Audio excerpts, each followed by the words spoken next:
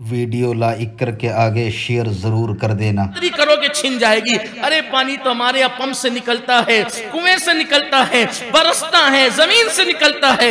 अल्लाह अकबर, पानी की ना कदरी मत करना। ये सब अल्लाह की नेमतें हैं। अल्लाह की नेमतों की कदर करो। सिर्फ़ जबान से अल्हम्दुलिल्लाह ना कहो, सिर्फ़ दिल और अमल भी उसका एहतराम करे, उसकी ताजीम करे। और आपसे कहता हूँ कि घर में खाना उतना ही लो। उतना ही घर में हो या शादी में हो या होटल में, जितना आप खा सके, उसको जाय मत करो। आज बहुत सारे मुसलमान रोटी रोजी को तरस रहे हैं। शायद उस, उनका तरसना नेमत की नाकदरी की बुनियाद पर हो सकता है। आइए, इसी तरीके से सेहत भी अल्लाह की बहुत बड़ी नेमत है।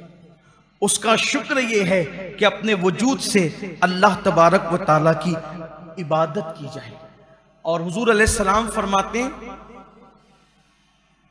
कि जिसको अल्लाह ने चार चीज़ें दे दी, अल्लाह तबारक व ताला ने जिसको चार चीज़ें दे दी, गोया अल्लाह तबारक व ताला ने उसको दुनिया की बहुत बड़ी नेमत और खैर कसीर अता फरमा दी।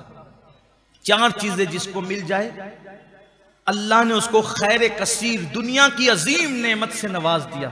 नंबर एक, शुक्र करने वाली जबान। शुक्र करने वाली जबान। मुसीबत में सब्र करने का हौसला।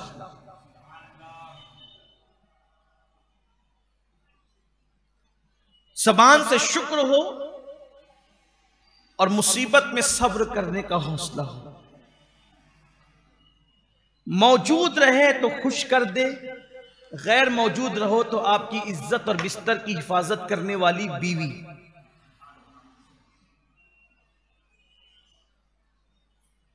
मौजूद रहो। जब मौजूद रहो तो खुश करे। और अगर मौजूद ना रहो तो वो तुम्हारे बिस्तर की हिफाजत करे। तो अल्लाह के हबीब वसल्लम फरमाते हैं, शुक्र करने वाली जबान, सब्र करने वाला हौसला, खुश करने वाली और इज़्ज़त को तहफुज देने वाली बीवी, और अल्लाह अगर बीमारियों के अंदर मुब्तला कर दे तो बदन उसको बर्दाश्त करने की अपने अंदर ताकत रखे। ये नेमतें अल्लाह तबारक व ताला जिसको दे दे, गोया अल्लाह तबारक व ताला ने उसको खैर कसीर अता फरमाया। अल्लाह ने उसको दुनिया की सारी भलाइयाँ अता फरमा दी। अब आप देखें, अगर हमें नेमत मिलती है तो नेमत मिलने के बाद हमारा हाल ये होता है कि अल्लाह अकबर।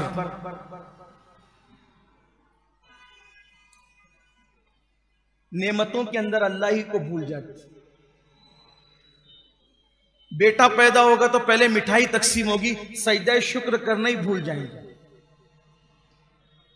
शादी की तकरीब होगी तो ढोल ताशे बाजों में मसरूफ हो जाएँगे, जिसने खुशियाँ दी उसी को भूल जाएँगे। नेमत मिले तो शुक्र करो, और जो शुक्र करेगा, और याद रखिए एक खास बात। बहुत खास बात, पूरी तकरीर याद रहे ना याद रहे, कोई कितना भी बड़ा नेक हो जाए कितना भी बड़ा कोई नेक हो जाए, कितना भी परहेजगार हो जाए, कोई गारंटी नहीं है कि अल्लाह ने जो नेमत दी है, अल्लाह न छीने। अल्लाह ने जो गारंटी दी है, अल्लाह उसको न छीने,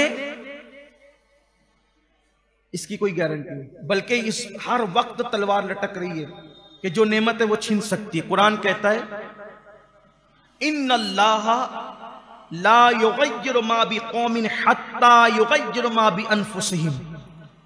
अल्लाह तबारक व ताला उस वक्त तक किसी कौम से नेमत नहीं छीनता, जब तक कि वो कौम खुद ऐसे हालात पैदा ना करे कि उससे नेमत छीनी जाए। जब तक कि हम खुद अपने आप को नहीं बदलते, अल्लाह हालात हमारे नहीं बदलता, नेमत नहीं छीनी जाती। अब अल्लाह ने जिबरील सलाम को, जिबरील अमीन को हज़रत जबरील अमीन को अल्लाह ने फरिश्तों का सैयद और सरदार बनाया।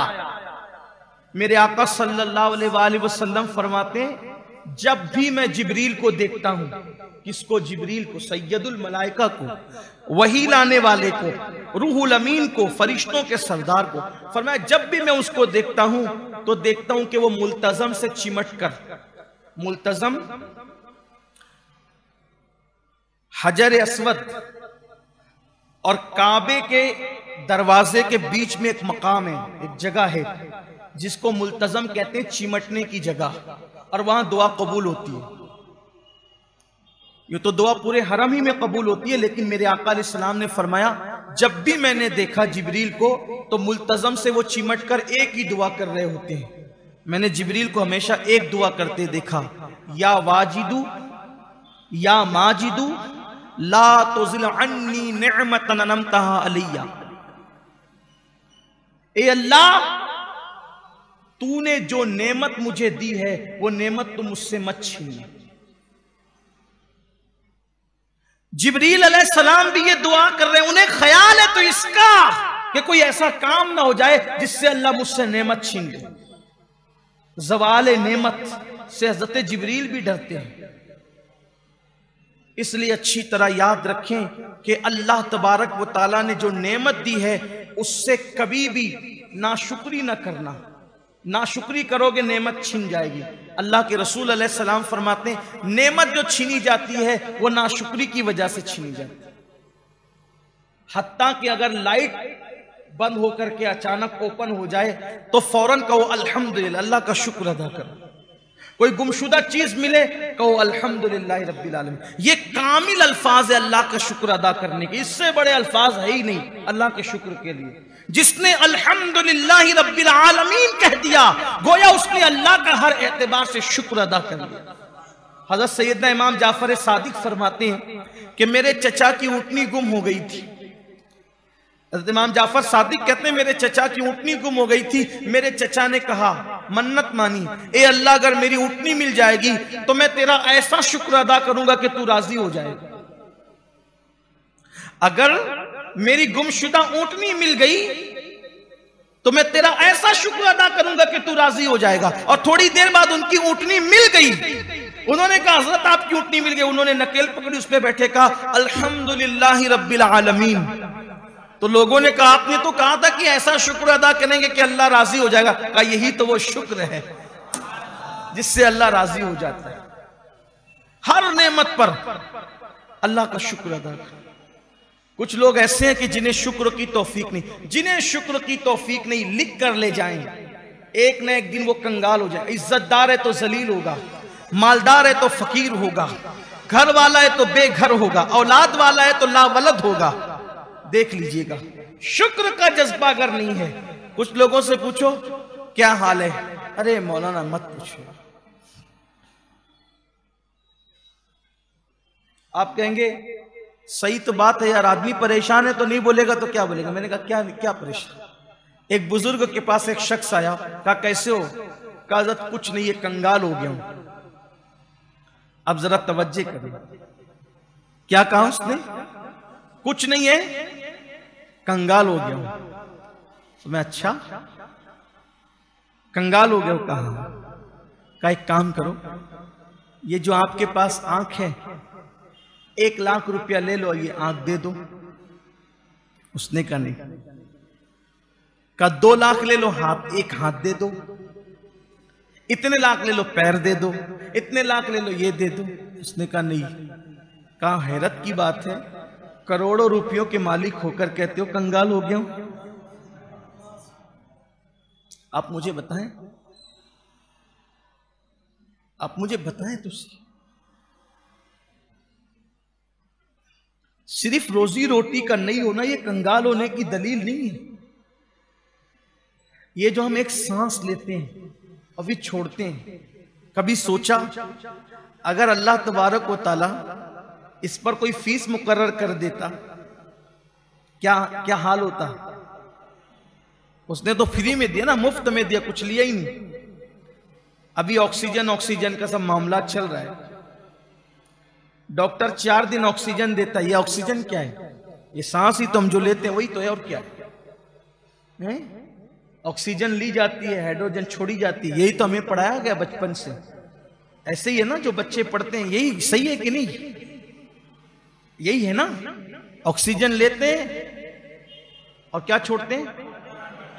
जी? हाँ कार्बन डाइऑक्साइड छोड़ते हैं। जी हाँ जी, सही कहा आपने। थोड़ा थोड़ा कभी मैंने भी आपका इम्तिहान लेना है, ऐसे थोड़ी चलता है। मुझे भी पता चलना चाहिए और जो इतने ढेर सारे सुने उनको ही मालूम होना चाहिए। यार जाहिल थोड़ी बैठते हैं। कुछ लोग ऐसे होते हैं, नहीं जी, ये सुन्नियों के यहाँ सब जाहिल आते हैं। जरा देखो हमारे बच्चे कैसे जवाब देते हैं। हाँ।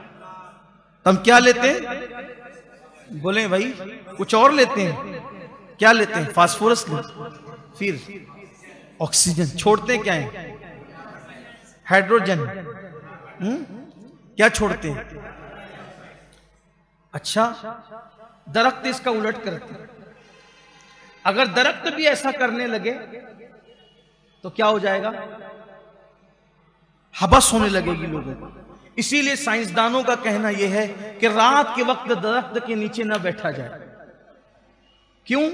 इसलिए कि दिन को वो ऑक्सीजन छोड़ते हैं। ऑक्सीजन दिन को और रात को वो भी ऑक्सीजन लेने लगते हैं। तो अगर हम बैठेंगे तो वो भी ऑक्सीजन ले रहे हैं, हम भी ऑक्सीजन ले रहे हैं तो वहाँ पर दम घुटने का एहसास हो सकता है। हबस की कैफियत हो सकती है। इसीलिए रात के वक्त दरख्तों के नीचे बैठने से साइंसदा मना कर। कि उनका अमल रात को सही कह रहा हूँ? बोलो भाई, सही कह रहा हूँ? थोड़ा बहुत हमने भी पढ़ा है। बहुत ज़्यादा, लेकिन पढ़ा है। और जो पढ़ा है वो उसको, उस पढ़े हुए को भी, अब वो पढ़ा हुआ होने में तकरीबन 20-25 साल का अरसा हो गया। लेकिन कुछ याद है, अल्हम्दुलिल्लाह। इसलिए कि नेमत, हुजूर सलाम फरमाते अल्लाह कोई नेमत दे तो उसका चर्चा भी किया करो। शुक्र अदा। ये भी एक शुक्र की कैफियत है कि नेमत हो तो उसका चर्चा हो। तो हम ऑक्सीजन लेते हैं और हम कार्बन डाइऑक्साइड छोड़ते हैं। लेकिन डॉक्टर के पास जब हम जाते हैं, चार दिन के लिए वो ऑक्सीजन देता है और जब वो बिल बना करके देता है, कितने कितने हज़ार होते हैं कि वो बिल देख करके आदमी का दिमाग बिल में घुस जाता है। कहाँ से देंगे ये? ये हालत होती। है बताओ डॉक्टर ने चार दिन ऑक्सीजन दिया, इतना बड़ा बिल थमा दिया। मेरा अल्लाह तो पैदा होने से लेकर के मरे दम तक के ऑक्सीजन देता है। वीडियो अगर अच्छा लगा हो तो लाइक करके आगे शेयर ज़रूर कर देना।